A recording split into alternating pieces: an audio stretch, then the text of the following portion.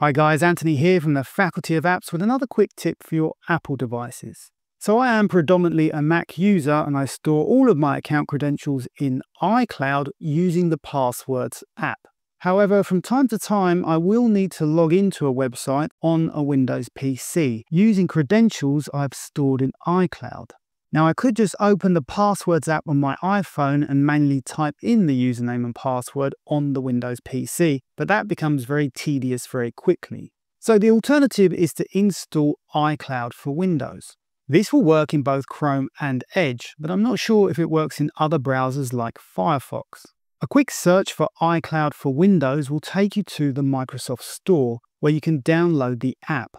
Run the installer and eventually, once it's downloaded, you'll see this screen. Click on Get Started and enter your Apple account details. Now this iCloud app allows you to do a lot more than just access your passwords. You can basically sync your whole iCloud account with the equivalent Windows apps, such as photos, calendars, contacts, etc. etc.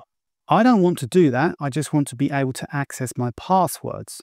However, if you use a Windows PC frequently, you may wish to sync all of this extra data, in which case you can check the advanced settings to see where that data will be saved, and you would click on this box to sync each of your different types of files on each of these different screens.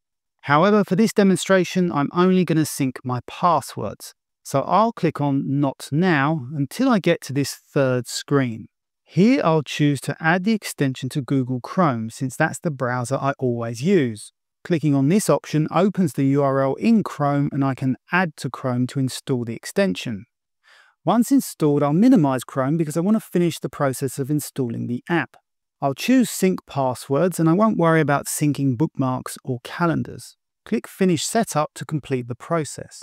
We're now presented with the iCloud app for Windows and confirmation that my passwords are the only thing that's syncing. Clicking on View in App will open a separate window where I can see all of my Apple passwords.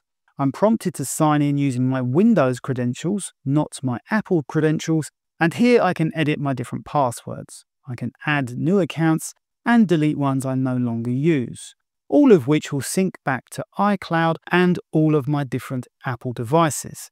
This is useful, but what I really want to do is access my accounts in Chrome and have my password autofill when logging into different websites. So back in Chrome, I'll pin the extension to the menu. And if I click on Options, you'll see that the extension is set to autofill and it also disables the default Google Chrome Password Manager.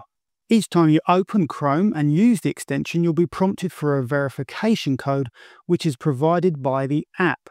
This is why it's important to install the iCloud app in addition to the extension. If you install the extension without installing the app, you'll see this message. However, once you've gone through this whole process, the next time you log into one of your websites, you'll be prompted to autofill your account details from your Apple iCloud passwords.